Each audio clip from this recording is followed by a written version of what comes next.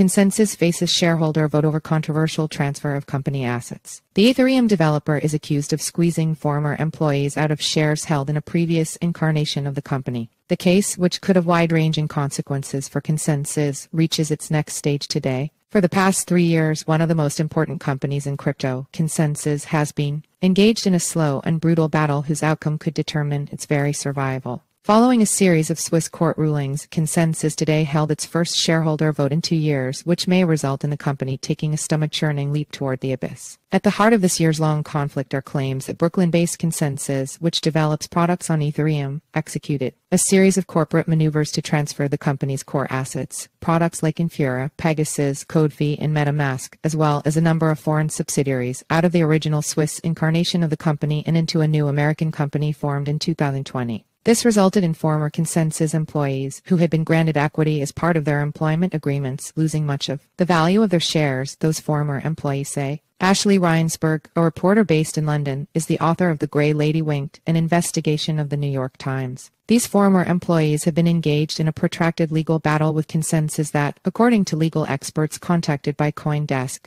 seems to have tipped in their favor. A spate of recent rulings by courts in Switzerland where ConsenSys was originally incorporated as an AG or limited company have given the case by the 35 former employees fresh momentum. This is not just some prior employee getting foo and or kind of thing, said Gabriel Tumlos, one of the 35 former employees who was part of the legal action. The thing that keeps me going is that at the core of all this is the blockchain story. If this were a DAO or something on chain, this kind of shadow accounting, the legal arbitrage that companies always do to people, would not have happened. The former employee's action against ConsenSys has proceeded through a number of court cases, including a request for an independent Swiss audit of the transfer of assets from the original to the new company and a separate case to force a shareholder vote on the transfer of ConsenSys assets. Swiss courts ruled that both requests should be complied with. Last November, a cantonal court in Zug ruled in favor of the former employee's request for a shareholder vote on the transfer of assets known as a sale and contribution agreement, which the company appealed. This May, the company acquiesced to the request by the former employees for a retroactive shareholder vote on the 2020 transfer of assets to the new company. The key resolution is a motion to approve action by the Swiss company against the new American company on the basis that the transfer of assets was illegitimate. Although the official results of the meeting, which took place today in Zurich, won't be known until later this week, the outcome is a foregone. Conclusion Joe Lubin, the company's founder and majority shareholder, will vote to reject the proposal that the transfer of assets should be unwound, a move that would effectively liquidate the company. Despite this, the vote will allow the former employees to litigate that decision itself in a new legal proceeding. But the shareholder vote is not the only case in play. In January, the High Court of Zug ruled in favor of the former employee's request for an independent Swiss audit, a ruling that does not allow for the possibility of further appeal. With a Swiss auditor investigating, the truth will out, and likely very soon. ConsenSys vigorously disputes these claims. ConsenSys AG Mesh is aware of a small group of former employees behind certain legal actions in Switzerland, it said in an email.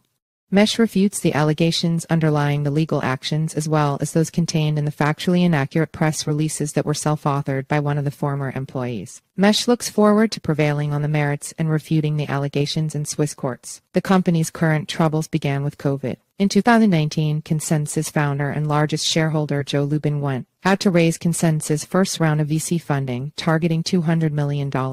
As part of the effort, Lubin, a co-founder of Ethereum, delivered a keynote at SXSW in Austin where he would declare his mission to build and fix things essentially on a new trust infrastructure. But despite that roadshow, COVID jammed a spoke in the company's fundraising wheel. With crypto plunging into winter and putting the broader economy in deep freeze, options were quickly leaving the table. At that time, ConsenSys had a payroll of around 1,300 employees and an attic filled with acquisitions, including an asteroid mining company, a dating app, a music company, an NFT endeavor, and a burn that a company pitch deck projected at $100 million for 2019. The only option left was to take investment from one of the few investors willing and able to put substantial money into the company at that moment. It so happens the company was JP Morgan, hardly a bastion of the decentralization Lubin has long touted. This, at least, is the more or less official version of events. Lubin, who has a supermajority stake in the company he can outvote the combined votes of all other shareholders, did what he had to do for the survival of the company. And indeed, there is little about this version that would inspire a years-long legal battle but the reality is more complex. To execute the deal with JP Morgan, ConsenSys crafted a plan called Project North Star, designed in concert with the Swiss office of consulting giant PwC.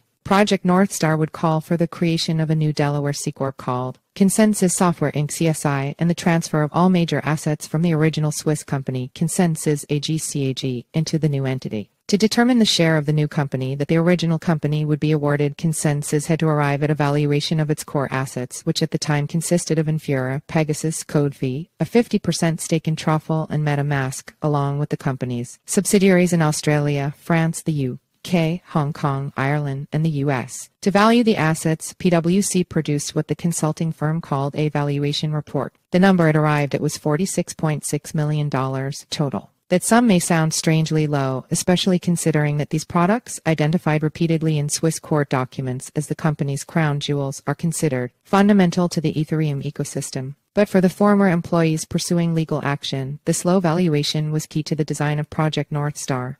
What they hired PwC to do was to perform evaluation for a very specific purpose, said Tumlos, a former CPA specializing in audits, who argued that the kind of evaluation PwC performed is generally used for tax reporting. The way that we former shareholders have understood it is that the goal of any kind of tax evaluation is to minimize your tax liability. That's why you hire the tax specialist. As the report made clear, ConsenSys provided all of the data used for the evaluation, and no independent audit or assessment was performed by PwC. As the report states in its disclaimer section, PwC has not conducted any audit or due diligence. PwC has not independently verified any of the information received from ConsenSys AG or publicly available and has relied on it as being complete and accurate. While a Swiss court ruling rejected the former employee's claim that the PwC report was specifically a tax evaluation, it nevertheless found that the resulting valuation of ConsenSys core assets is not comprehensible. The High Court for Canton Zug noted that just 14 months after the asset transfer, the new U.S. based company was valued at $3 billion, 64 times more than the value of the assets PwC had produced. Less than a year after that, in spring 2022, the value of ConsenSys Software Inc reached $7 billion, 150 times the PwC valuation on the basis of the same core assets. According to the former employees' ConsenSys, refused to provide former employee shareholders with the data or instructions given to PwC to produce the report, leading the court to surmise that the impression that PwC had been provided with embellished data cannot be entirely dismissed. The High Court for Canton Zug noted that even the Swiss Federal Tax Administration FTA could not readily comprehend the appropriateness of the set purchase. Price of USD 46.4 million on the basis of the PwC valuation report. Whatever the valuation should have been for the assets, the question remains whether the deal was appropriate to begin with. With its specifics abstracted, the picture we have is of the CEO and controlling shareholder of a company creating a second company, of which he would similarly be CEO and controlling shareholder, and transferring assets from company A to company B. The problem here is there was no shareholder meeting, and there's no clear approval from the shareholders, said Jiaying Jiang, assistant professor at the University of Florida Levin College of Law, where she focuses on blockchain and crypto law. And there's definitely a conflict of interest when the transaction happened because Lubin was a shareholder and may have been a director of both companies at that time. The specifics of the deal complicated matters further. Lubin justified his 52 5% stake in CSI by transferring a $39.1 million loan he'd made to CAG, the first company, as a liability on the books of the newly created U.S.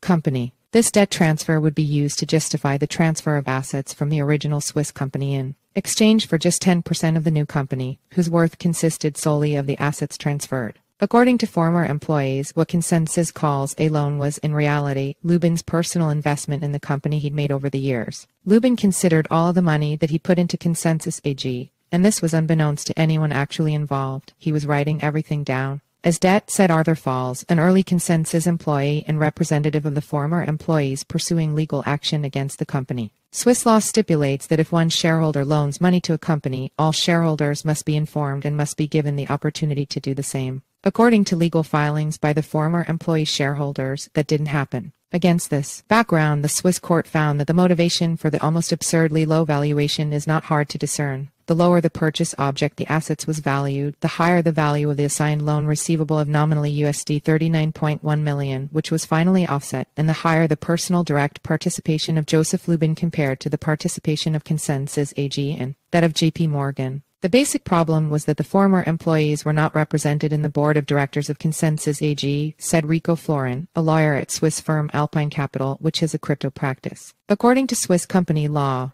business decisions are taken by the board of directors and not by the shareholder meeting. Therefore, the former employees had basically no access to the documents about this major deal. The court came especially to the conclusion that Joseph Lubin was in a conflict of interest in connection with this agreement and that he didn't take the necessary steps in such a situation as, for example, the valuation by PwC doesn't meet the requirements of a fairness opinion. Lubin did not reply separately to a request for an interview. ConsenSys AG, now called Mesh, provided a statement responding to allegations made by the former employees. According to the company, with regards to the ConsenSys Software Inc. CSI transaction, the spinout was conducted properly with the close involvement of globally renowned law firms and an independent valuation by PwC. Although the business fundamentals and operating environment are entirely different today than at the time of the transaction, which occurred during the darkest days of the COVID-19 pandemic, the group would like to apply a retrospective valuation with the benefit of hindsight, which is not how valuations work. Lubin decided to denominate his loans to the company in Ether, another issue for the ex-employees leading the case. This meant that, as ConsenSys employees built out the Ethereum ecosystem with the eventual effect of driving up the price of ETH, the value of Lubin's loan increased. The decision would lead ConsenSys AG to claim in court filings that Lubin had in fact waived loans to the company worth a staggering $330 million, the approximate figure cited in company financial statements seen by CoinDesk is debt issued by ConsenSys. According to the court filing, the $330 million figure was calculated according to the price of ETH in December 2020, four months after the transfer of assets had been completed. The ETH-denominated loan put the company in a bizarre logical loop in which the more it succeeded, the greater its debt grew, a debt owed to its founder and largest shareholder. To have any hope of repaying the debt, ConsenSys would have to grow faster than the underlying currency its business was built on. As it happened, JP Morgan would invest no money in ConsenSys old or new despite the fraught corporate maneuvering. Its main contribution was the transfer of Quorum, an enterprise-targeted version of Ethereum similar to PegaSys, a product ConsenSys had already built. Nevertheless, JP Morgan received 10% of the new company. Lubin would wind up with a 52 5% stake in the new company, in addition to his 70% stake in the original Swiss company. In the subsequent months, ConsenSys Software Inc. would raise a total of $715 million from companies including SoftBank, Microsoft, HSBC, and UBS and MasterCard, a fact that the former employees also take issue with. The most important assets that are at the core of the Ethereum ecosystem have now somehow been sold to the banks, said Tumlos. And look, I'm not like some kind of idealist. Banks have a place in our future.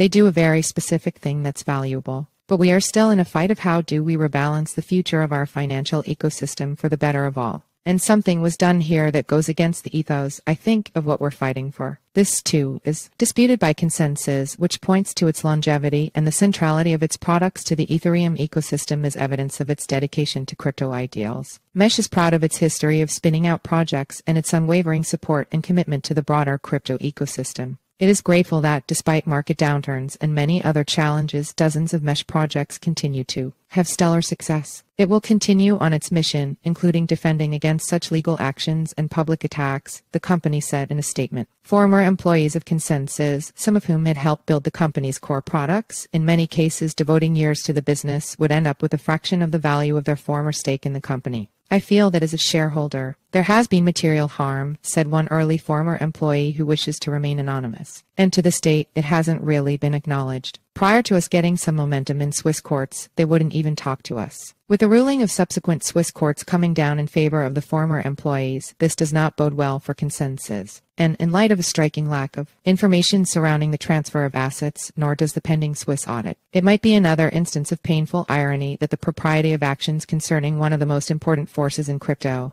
a champion of decentralization and trustless protocols, will be adjudicated by the most centralized of all bodies, a government court. But disruptive innovation is rarely clean and pretty.